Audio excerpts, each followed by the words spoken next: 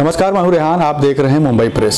चलिए एक नज़र डाल लेते हैं महाराष्ट्र और मुंबई शहर की कुछ बड़ी खबरों पर। और सबसे पहले बात करते हैं, दिल्ली पुलिस ने कल जिस तरीके से छह आतंकियों को गिरफ़्तार किया है, ये संदिग्ध आतंकी जो है, एक बड़ा जो है, धमाका करने वाले थे, पूरे देश को दहलाने वाले थे।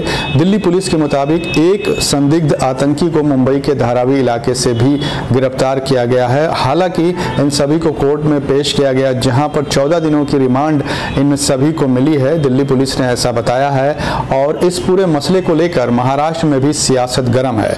महाराष्ट्र के गृह मंत्री दिलीप वलसे पाटिल, जहाँ पुलिस के आला अधिकारियों के साथ एक बड़ी बैठक इस पूरे मुद्दे को लेकर की, वहीं दूसरी ओर महाराष्ट्र एटीएस के चीफ विनीत अग्रवाल ने एक प्रेस कॉन्फ्रेंस करके इस पूरे प्रकरण का जो है ब्यौरा दिया कि कैसे दिल्ली पुलिस ने आतंकियों को गिरफ़्तार किया और जहाँ तक ताल्लुक संदिग्ध आतंकी जान मोहम्मद उर्फ़ समीर कालिया का है। मुंबई के धारावी इलाके से उसे कैसे गिरफ़्तार किया गया, इस पूरे मामले में तफसील से जानकारी जो है महाराष्ट्र के एटीएस चीफ विनीत अग्रवाल ने दी। क्या कुछ कहा विनीत अग्रवाल ने अपने पूरे प्रेस कॉन्फ्रेंस में? आइए सुनते हैं।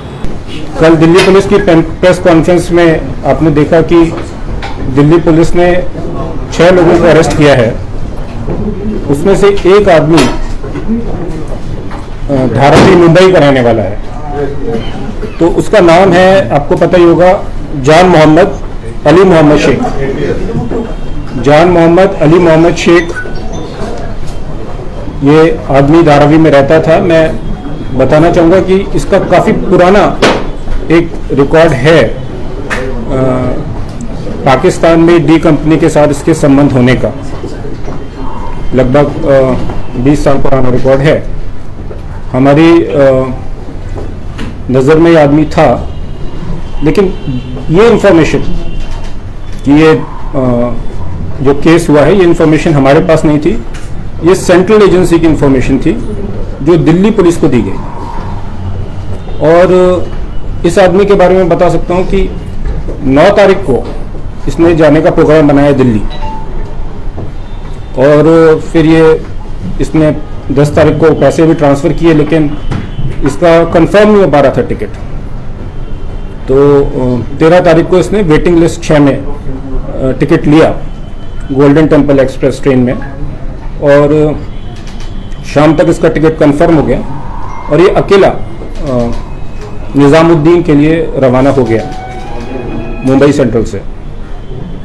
इसको रास्ते में जब ट्रेन कोटा पहुँची तो इसको अरेस्ट किया गया। इसके पास कोई एक्सप्लोजिव नहीं मिले, इसके पास कोई वेपन नहीं मिला। जो भी इंफॉर्मेशन है वो दिल्ली पुलिस के पास है। तो आपने सुना कि किस तरीके से विनीत अग्रवाल ने जान मोहम्मद को लेकर जो है खुलासे किए कि उसका लिंक जो है अंडरवर्ल्ड डॉन दाऊद इब्राहिम से भी 20 साल पहले था और वो मामला चल रहा था। 20 साल पुराना केस है, इसलिए जान मोहम्मद हमेशा जो है मुंबई पुलिस और एटीएस की रडार पर था। और हाल ही के दिनों में ऐसा कुछ नहीं लगा एटीएस को कि जान मोहम्मद को लेकर जो है, जो खुलासे हुए हैं दिल्ली पुलिस के द्वारा। उसे कोटा गिरफ़्तार किया गया है। कोटा से दिल्ली पुलिस के द्वारा महाराष्ट्र एटीएस का यह भी कहना है कि मुंबई से उसे गिरफ़्तार नहीं किया गया है और न ही गिरफ्तारी से पहले दिल्ली पुलिस ने महाराष्ट्र एटीएस या फिर मुंबई पुलिस से संपर्क किया था। इस पूरे मुद्दे को लेकर महाराष्ट्र में सियासत गर्म है तो वहीं दिल्ली में भी सियासत गर्म है। क्या कुछ कहा महाराष्ट्र के पूर्व मुख्यमंत्री देवेंद्र फडणवीस ने इन छह आतंकियों की गिरफ्तारी को लेकर और खासकर मुंबई से जो संदिग्ध गिरफ़्तार किया गया है, उसके बारे में, आइए सुनते हैं। देखिए, बहुत गंभीर बात है जिस प्रकार से देश के अंदर और विशेष रूप से मुंबई जैसी जगह आतंकवादियों का पकड़ा जाना ये खतरे की घंटी है। मुझे लगता है कि इसमें बहुत ज़्यादा ध्यान देने की आवश्यकता है और ऐसे जो लोग घुसे हुए हैं आतंकवादी बनकर कहीं कहीं बैठे हुए हैं ऐसे लोगों को ढूंढना बहुत ज़रूरी है क्योंकि अब हम ऐसी घटना नहीं होने देना चाहते। बड़ा हमला करने वाले थे में। नहीं बहुत ऐसे लोगों को बिल्कुल ख़त्म कर देना चाहिए। दूसरा सबसे बड़ा मुद्दा आजकल चल रहा है ओबीसी आरक्षण की।